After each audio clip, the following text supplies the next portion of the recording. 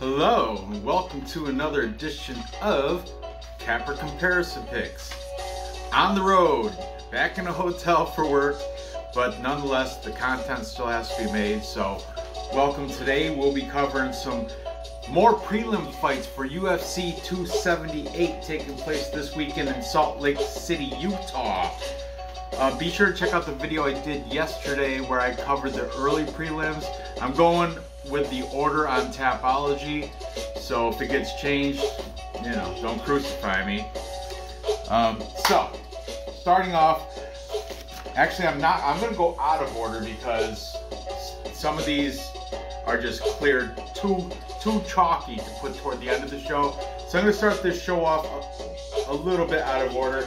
I'm to start this show off with fly, female flyweight fight between Miranda Maverick taking on Shanna, the Shanimal Young. So Miranda Fear the Maverick comes in with a record of 10 and 4. She's a whopping 6 to 1 favorite. It's minus 600. You guys see that? Hope you can. I can't see the camera, so I'm assuming everything's. I forgot my tripod too, so I got it makeshift sitting up there. Hope it stays. But um, uh, let's talk about Miranda Maverick, the favorite in this fight first. Fear the Miranda Maverick is uh, coming off a win against Sabina Mazo. Before that, she took two losses back to back. She lost to Erin Blanchfield, which I hold Erin Blanchfield, boom, up here. I think she's like, she's a contender. She's top five in my book. Before that, she lost to Maycee Barber. That was a split decision loss, which should have, that was a robbery. It should have went Miranda Maverick's way. Ask anybody that, that watched the fight, they'll agree with me. Prior to that, though, she does have wins against Jillian Robertson, Jillian Robertson by unanimous decision, and she beat Liana Jojua by Dr. Stoppage round one. Um, she trains out of Elevation on Instagram. She's in spotted training with Lauren Murphy, of all people, very good for Miranda Maverick. She started out her career as an Invicta killer, where in Invicta she does have a win against Shanna Young, but it was during like the Phoenix Series tournament, so it was exhibition. But um, nonetheless, we're going to talk about Shanna Young anyway. Shanna Young now training out of Syndicate MMA, which is good. On um, Instagram, there is photos of her training with the coach Eddie Cha. Oh, I'm sorry, Ugh. Coach John Wood. That's uh, Joanne Joanne Wood's husband, Joanne Calderwood, formerly Joanne Calderwood, and also shows her with uh, Ramona Pascual. Interesting enough. Um, the Shanimals coming off a nice win over Gina Mazany by TKO round two. Gina Mazany just horrible gas tank, just had nothing left in her, no energy left. Shanna managed to uh, get, take care of her round two. Before that, she lost to Stephanie Egger, ground and pound round two. Miss uh, No Tap managed to get that done without having to worry about tap or not tapping. Uh, she finished Shanna Young round two, ground and pound. And before that, she lost her UFC debut to Macy Ch Chiasson by unanimous decision. And prior to that, she was an Invicta girl. As I mentioned, in when she was an Invicta, there was a Phoenix Series 2, it's called. Phoenix Series is like uh, a tournament with like, I think, one round matches. Yeah, that's all it took though. Miranda Maverick got her in a rear naked choke in round one in the Furies, the, the Invicta Phoenix Series fights. Um, Shanna Young will have a four inch height advantage over Fear the Miranda Maverick. Now we're just going to throw up the cappers and what, what they're taking here. Uh, this is where it becomes real awkward because I gotta hold this right on it. It's not stationed on the wall like at home. But it should be pretty easy because six to one favorite, bleh, minus 600. There's no value in there. I wouldn't put Miranda Maverick in a parlay. I wouldn't do anything. Maybe a full card parlay. That would be about it. Because Shanna Young, the Shanimal, I mean, it is a fight when it comes right down to it. So plus 450. I'm not going to bet her either, but I'm just saying don't waste your money betting this fight either way. Okay, Miranda Maverick taking her. We've got um, Bleed MMA. What's going on? Bleed. I will put the link to all these cappers in the description. I urge you guys to check out all their shows. They're fully the the guy in order to make my show you got to know what the hell you're talking about and you have to be pretty good at it and you got to be entertaining otherwise i'm not going to watch you you know um, the mma guru with the beanie from uh, the uk is also taking miranda maverick he specified he said rear naked choke round one okay well submission round one it is for the mma guru then we've got Cody from Blood Money. Also taking Fear of the Miranda Maverick. We got the MMA fortune teller. He's a smart feller. The MMA fortune teller. The teller. The teller. and Artem MMA analysis finish up, finish off the full cap capper consensus where Artem is saying by decision.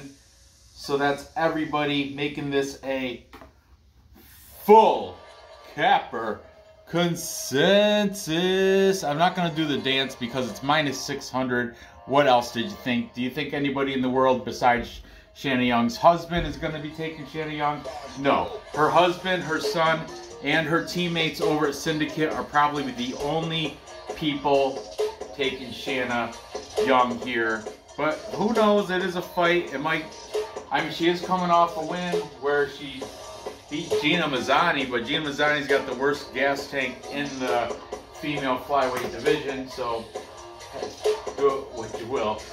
I'm also. I can't go against the capper major capper consensus pick here. I think um, Random Maverick is gonna take care of this wicked easily. I don't know if she's going to finish Shanna Young. Shanna Young is, uh, she's in pretty good shape. I'll give her that. So I think uh, I'm to take Miranda Maverick by decision. It is a flyweight female fight. Miranda Maverick will use her wrestling to keep control of the fight and uh, keep it onto the ground where she wins by control time. It's going to be kind of a boring fight, but um, that's what's going to happen. Mark my words. Moving on. Next we have, uh, once again, I'm moving on, not in order. Sean Woodson taking on Luis Saldana. Sean Woodson, the sniper, is 9 and 1 as a professional. Minus 340 favorite. Once again, chalky, chalky favorite here against Luis Saldana. Luis Saldana, the Mexican fighter, comes in with a record of 16 and 7 and he is a plus 280 underdog. Okay, let's talk about the favorite in Sean Woodson first. Sean Woodson, coming off uh, back-to-back -back wins, he beat Colin Anglin most recently by uh, hooks in round one. Then the sniper took out Youssef Zalal. Split decision, so it was kind of close. Youssef Zalal, he likes those close fights. Look, he just had that um, that uh, draw last uh, last weekend. Uh, before that, he did get beat by Juicy J. Julian Erosa by Darce choke. And prior to that, he did he beat Kyle Bochniak in his UFC debut. And get this, he beat Terrence McKinney. Fantastic win for Sean Woodson. Beat him by flying knee in round two, and that was in the contender series. He's to have a 3-inch height advantage and a 6-inch reach advantage over Luis Saldana. He's fighting out of uh, the Wolf's Den Training Center. Sean Woodson, the sniper, is 30 years old. The Saldana's 31. Uh, tail the tape, everything leaning the way of Sean Woodson. I will remind you, he's got a 3-inch height advantage six inch reach advantage. Let's talk about his opponent though, the Mexican fighter Luis Saldana. Luis Saldana coming off a win against Bruno Souza by unanimous decision. I suppose that's good. Prior to that, he lost to Austin Lingo, unanimous decision. He had his UFC debut victory over Jordan Griffin, unanimous decision. Looks like a decision area, right, guys? Um, but easy. He did have a win over Vince Murdoch in the Contender Series by ground and pound round three. There you go. If you look at his Instagram, he highlights, he's got a highlight of that fight. Wow. And before that, he beat uh, Carl Wittstock in the LFA. Good on you, Luis Saldana. Luis Saldana on Instagram, training with Eddie Cha over at Fight Ready, and he's been spotted training. Also, training partner was uh, JSP Jonathan Pearce. Pretty good. I like Fight Ready. It's a very good camp, very good training facility for Luis Saldana. So anything can happen. Let's see what the handicappers have to say in this fight with the heavy favorite, minus 340 Sean Woodson taking on Luis Saldana. All right. I'll make this kind of fast. You already know which way it's going to go. Sean Woodson taking him. We've got Artem MMA analysis out of New Zealand taking Sean Woodson by decision. Then we've got uh, the MMA fortune teller. Also taking Sean Woodson. We've got Cody from Blood Money. Tomorrow is Wednesday, so be sure to tune in to um, Blood Money and Johnny K Picks. Do a live stream Wednesday night. I don't know, they switch back and forth to each other's channels. I don't know which one it's going to be on, but definitely find that and watch it. I'll be in the chat most likely. Then we've got uh, the MMA Guru also taking Woodson, and finally to cap off this, what's going on? Bleed MMA also taking Sean Woodson to make this the second full capper consensus on this card. Bam, bam. On the show, I mean. Second full capper consensus on the show. Now, if you bear with me, I am going to pause this quickly so I can write the um, third and final fight down onto the boards. Moving on. Next we have the welterweight fight between AJ Fletcher, the Ghost, taking on Ange Loosa, the last ninja. You are the last ninja. I'm that's It's actually from The Last Dragon, but uh, The Last Ninja. Alright, anyway, AJ Fletcher comes in as the slight favorite, minus 155. Hope you guys can all see that. Um, record 9 and 1. Coming off his, his one loss to Matt Semi the Jedi Semelsberger. Now, Semelsberger took him out uh, by unanimous decision. That was uh, Fletcher's UFC debut. Before that, he was undefeated but uh, the opponents were, man, low level. I just want to, he's, he's kind of a glorified can crusher. Not really much in the, in way of competition. Um, I'll mention, throw some names out there, but you're not going to know them. In the contender series, he beat Leonardo um, Damiani. Flying knee though, he did do it with with an exclamation point. Flying knee round one took care of business. Before that, he beat Ariel Juarez submission round one. That was an AKA standing for American Combat Alliance. And that is a Louisiana um, regional scene because uh, AJ Fletcher trains out of the Gladiator Academy in Louisiana. Um, also, he's been training with uh, Dustin Poirier on Instagram. He was training. He's been since been training with Dustin Poirier even before his fight against Matt Semelsberger. Dustin Poirier's always been there. Okay. Aside from the AK American Combat Alliance, he was in Icon, which is um, I think that's Jorge Masvidal's fight promotion, and uh, the event was in Mississippi, but I think it's kind of like a southern regional, like Mississippi, Florida. It travels around the South. Icon fight fighting or something like that. Um, So AJ Fletcher, if you look at his tapology, I don't know any of his past opponents, except for Matt Semelsberger, even have a winning record. There might be one, but uh, I checked on one that like that I thought, but then you look at it and nope. Since the fight with Fletcher, he's lost. He's lost two. So yeah, kind of can crushing over there. But uh, same can almost be said, not quite, but almost be said by An- about Ange Loosa. Angelusa is coming off his UFC debut loss to Monir Lazzez by unanimous decision. Before that, he he did beat uh, John Howard in the XMMA. Coincidentally, that is also a Louisiana regional scene. Interesting enough. Um, before that, though, he did lose to his uh, his Dana White Contender Series fight to Jack Della Maddalena. Jack Della Maddalena is a high upcoming prospect, looking very good as of recently. Um, and before that, he beat uh, some guy in Titan FC, which is a Florida regional. And he beat, that guy's name was uh, Colin Luberts. Luberts and that was by split decision, not very good. Um, and prior to that, he lost to uh, this guy, Jonathan Thompson, by split decision in the LFA. So that's Ange Loosa. However, Ange Loosa is training out of Killcliff, formerly known as Sanford MMA. So Henry Hoofton Company down there training him up.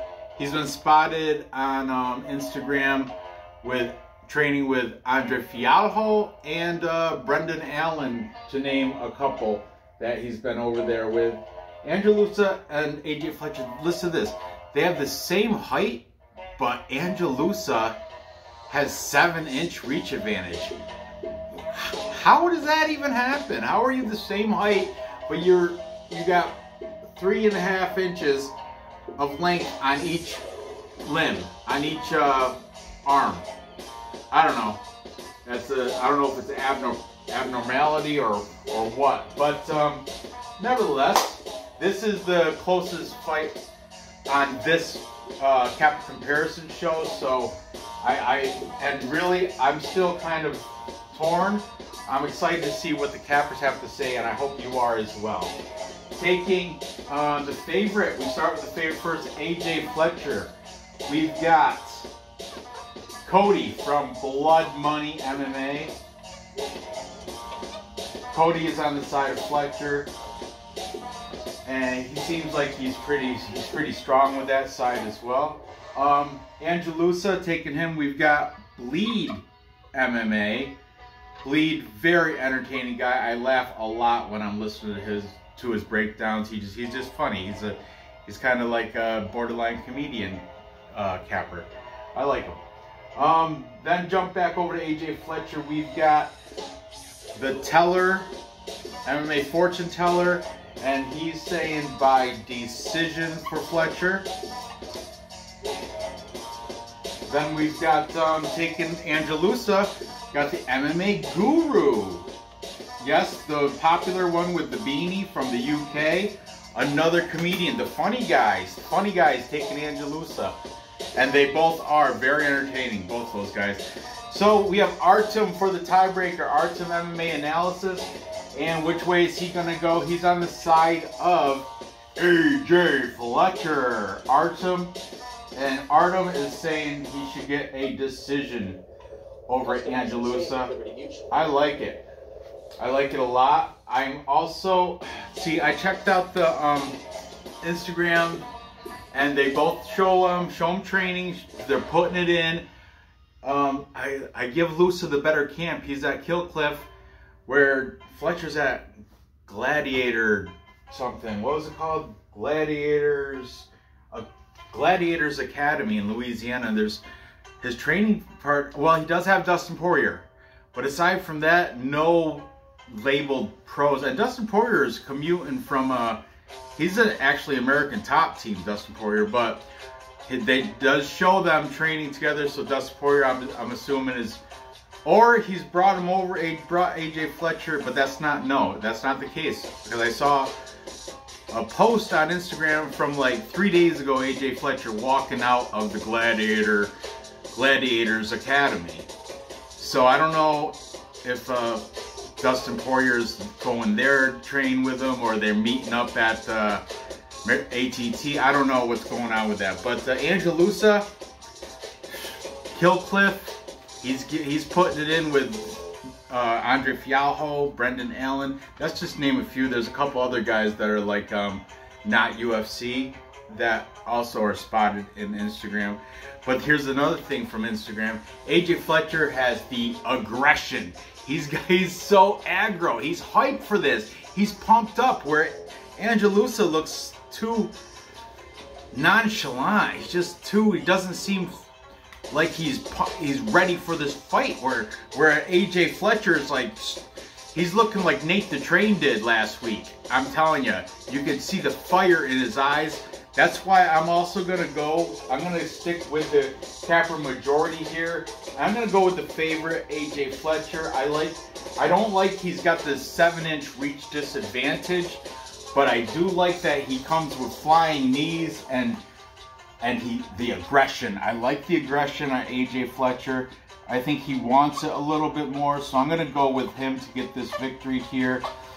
Um, I don't see. I don't think he's going to uh, finish Ange Loosa. I think he's more probably gonna um, outpoint him. AJ wrestler AJ Fletcher does have some wrestling ability. I don't know his background. I don't know how he did in high school or if he if he wrestled in college. I don't know that stuff. I should have looked it up, but um, I do know he does have wrestling. So I'm gonna go with that. I think he's gonna outstrike Loosa, and his he might not outstrike with volume, but the significant he's gonna have the power strikes. If he if he can land a flying knee, forget about it. but I'm gonna take him by decision to get it done over Ange Loosa. So to recap. Time check. I can't see that. But to recap, I've got um, Miranda Maverick edging out a decision over Shauna Young, Shayna Shanimal, Shayna Young. I've got Sean Woodson. How'd I say? That one's still on here, no? Uh, well, I've got Sean Will Woodson getting done over Luis Saldana. I think he's gonna actually, um, yeah, I think he's probably gonna get a decision victory there. That's how, uh, yeah, these guys have been decisionators for the most part. Sean Woodson by decision, and finally, I'm taking AJ Fletcher. Man, unfortunately, also by decision because like the one drawback about AJ Fletcher, as I mentioned, his level of competition hasn't been the greatest, so I don't think he's going to be able to put Ange Loosa away, but I like that he wants to. I like his will. He, he has a quote. He's got one of his um his Instagram posts. It says, let's see your soul, partner. And directed to Ange Loosa. Awesome, awesome. Let's see your soul, partner. Meaning, let's see your soul as in like your will to win. And uh, Ange Loosa, I don't see it. I don't see the fire in his eyes. I do see the fire in AJ Fletcher's eyes. So there you have it. Gather the info. I don't know if you guys can see that, but uh, gather the info. Place those bets and cash those tickets. Thanks for watching me in the mobile, with the mobile whiteboard on the road. Thanks for watching me. I'm out of Woburn, Massachusetts today, of course, for work. But uh, thanks for watching me out of the hotel. Tomorrow I will be returning home and stay tuned where I get into the uh, select fights. I do. I am covering one main main card fight and two the remaining two prelim fights. So stay tuned for that tomorrow. Good luck on your bets. Thanks for watching. Leave a comment, guys. Leave a like and a comment.